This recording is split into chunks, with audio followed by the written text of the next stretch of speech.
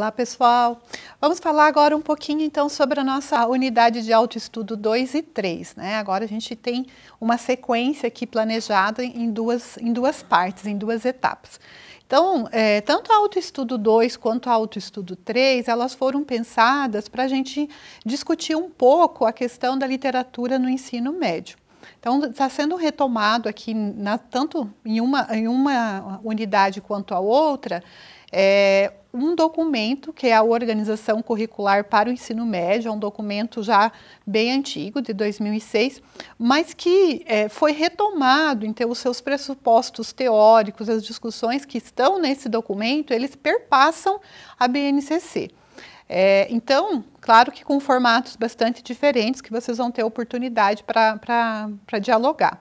Então, na primeira, na, na primeira parte aqui, na parte do, da, da autoestudo 2, então, vamos organizar assim. Então, na autoestudo 2, a gente vai discutir, então, quando se trata da literatura no ensino médio, a questão do caráter humanizador da arte barra literatura, né? Porque a gente vai entender um pouco que arte, né, que a literatura é uma forma de arte. Então todo o material foi pensado, né, né os vídeos que foram elencados aqui, para a gente poder entender um pouquinho o que, que é arte, o que, que é literatura. E eu trago dentro desse material a discussão, o fio condutor é o caráter humanizador da literatura, que eu acho que precisa muito ganhar espaço dentro das aulas, né? precisa muito que a gente tenha esse olhar para não abandonar a literatura é, dentro do processo de ensino-aprendizagem, principalmente no, no, ensino médio, principalmente no momento que a gente está vivendo hoje. Né? Se a gente for falar né, desse o que, que seria esse caráter né, humanizador aqui, é, o material de vocês tem, inclusive, uma citação do Antônio, Antônio Cândido, que vai dizer, né? Que é o processo que confirma no homem aqueles traços que reputamos essenciais, né?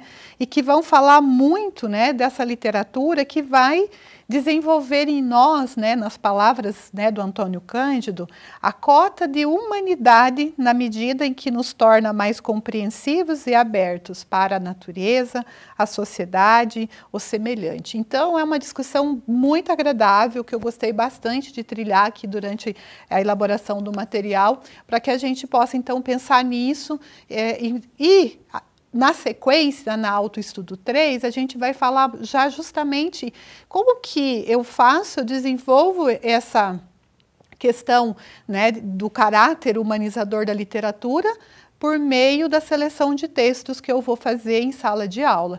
Então, a sequência, né, Autoestudo 3, é, vai fazer mais um bate-papo com vocês, né, uma conversa de professor, né, que vai falar de textos, de contos, de poesia, né, de poemas, né, que vão trazer toda uma, uma poesia ali para que a gente possa, de repente, trabalhar com os alunos e vai discutir principalmente, né, quando se trata do ensino da literatura, é, não só o papel do professor como mediador, do papel do aluno, mas esse papel também é, de, do que selecionar, né, do que levar atendendo essas novas demandas, né? Então, é, eu procurei então no e-book, né, que vai se, chama, né, a leitura do texto literário, diálogos possíveis.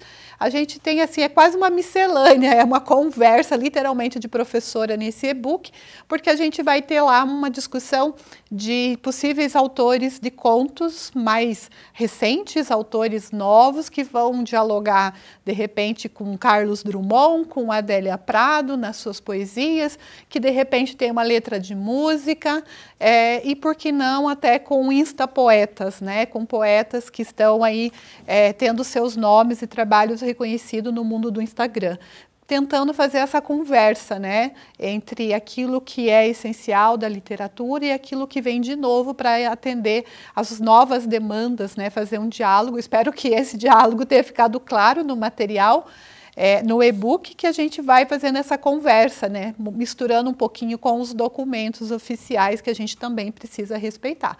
Então, bastante prazeroso né, essa articulação da literatura aí nos dois módulos, né, nas duas autoestudo.